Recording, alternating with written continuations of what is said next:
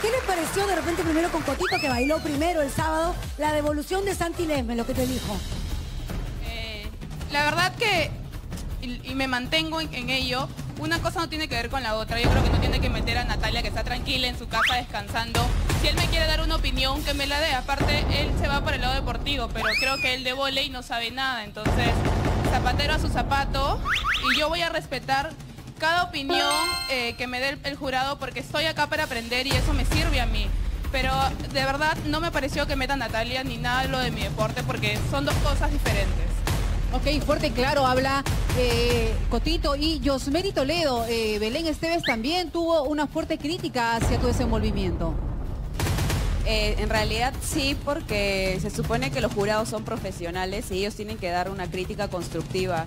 No decirme soy como que una simple tombita y no es la palabra tombita, porque eso lo usan los delincuentes. Eh, es una palabra vulgar.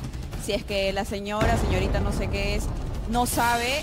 eh, si está en otro, es de otro país, acá se dice policía. Se le respeta. Entendiendo lo que, lo que sí entendí el mensaje de, de Belén, por supuesto.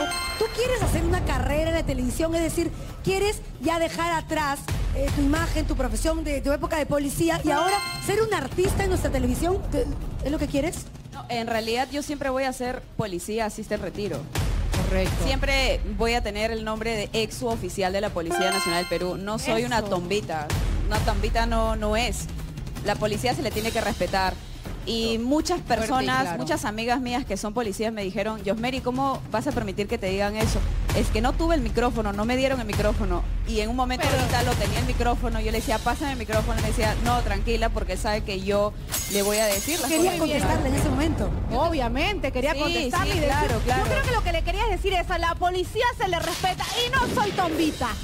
Se lo dices? No, no, en realidad eh, la palabra tombita, como ya les dije, es una jerga bien vulgar Correcto. que lo usan los delincuentes. Entonces, Quizás- a la- no, les, no nos gusta que nos digan Claro, y quizás ella, no sé, voy a decir que Belén tal vez no sabe porque ella es argentina, no es peruana y quizás... Pero ella tiene bastante tiempo acá, entonces debería, creo que Yo lo único eh, que te puedo hablar. aconsejar, Josmeri, es que la próxima vez estés donde estés, estás en todo tu derecho de pedir, por supuesto, el micrófono y hacer tu réplica si es que lo consideras necesario, Pero ¿verdad? me, me quedé con la pregunta. ¿Quieres hacer una carrera como artista en la televisión peruana?